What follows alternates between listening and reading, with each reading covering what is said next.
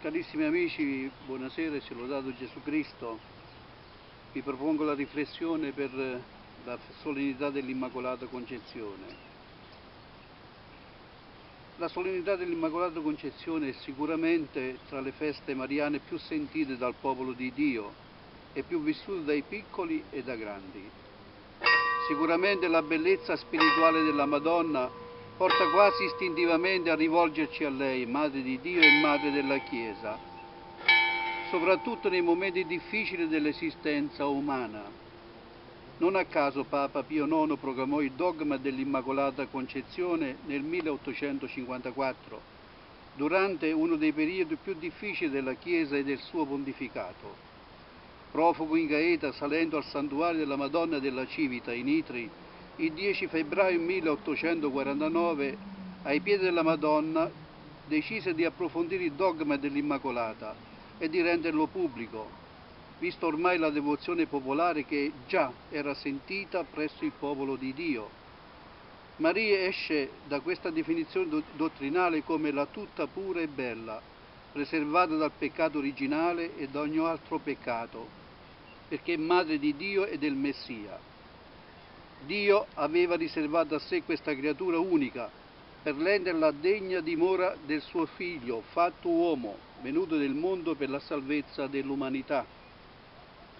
In questo anno 2013 questa solennità mariana che si pone all'inizio dell'avvento assume un significato speciale, in quanto siamo chiamati come credenti sulla parola di Dio e su quella del Magistero di Papa Francesco di essere annunciatore della buona novella del regno di Dio, del gaudio evangelico.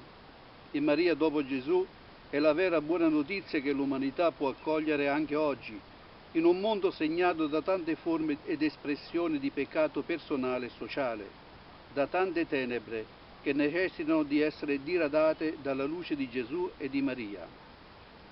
La parola di Dio di questa solennità che coincide con la seconda domenica di Avvento ci pone di fronte al grande mistero della salvezza del genere umano, in cui un ruolo ed una missione particolare assunto la Madonna Immacolata. Nel prefazio di oggi preghiamo il Signore con queste parole di gioia e di speranza per il genere umano. Tu hai preservato la Vergine Maria da ogni macchia di peccato originale, perché piena di grazia diventasse degna madre del tuo Figlio. In lei hai segnato l'inizio della Chiesa, sposa di, di Cristo senza macchia e senza ruga, splendente di bellezza. Da lei, Vergine purissima, doveva nascere il figlio, agnello innocente, che toglie le nostre colpe. Che tu sopra ogni altra creatura la predestinavi per il tuo popolo avvocato di grazia e modello di santità. La missione e la vocazione di Maria nel dire il suo totale sì a Dio sta sintetizzata in, questa, in queste verità di fede preservata dal peccato originale, la piena di grazia, la madre di Cristo, la madre della Chiesa, splendore di bellezza, vergine purissima, avvocata di grazia, modello di santità.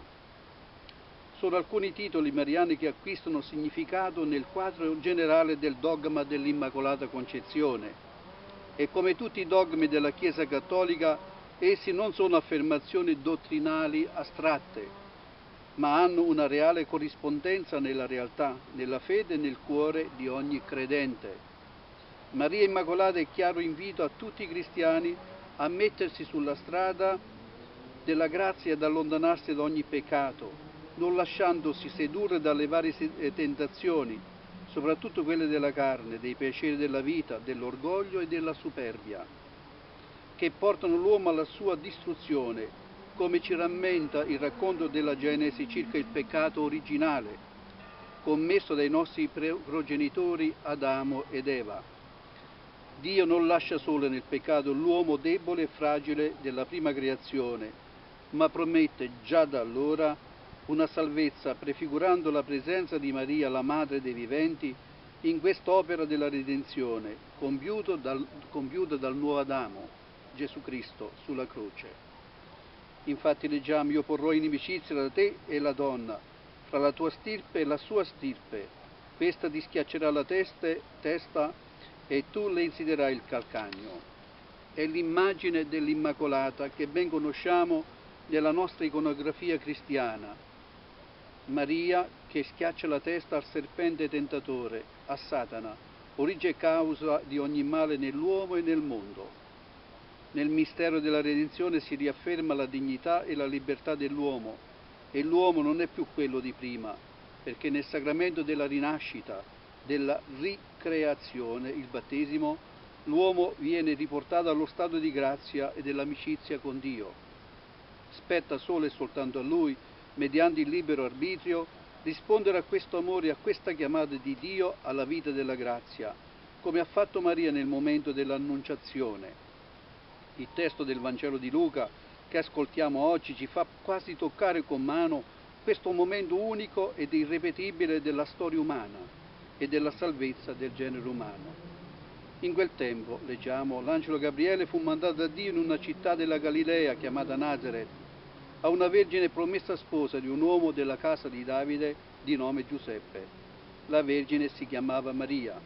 Entrando da lei disse, rallegrati piena di grazia, il Signore è con te.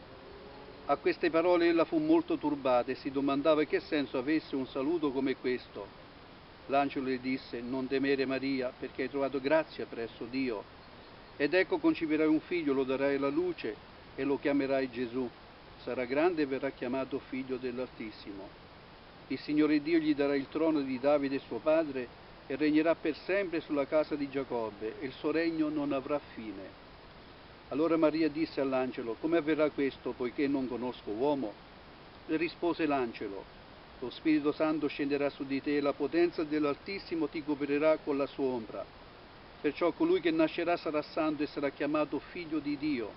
Ed ecco Elisabetta, tua parente, nella sua vecchiaia è concepito anch'essa un figlio e questo è il sesto mese per lei che era detta sterile. Nulla è impossibile a Dio.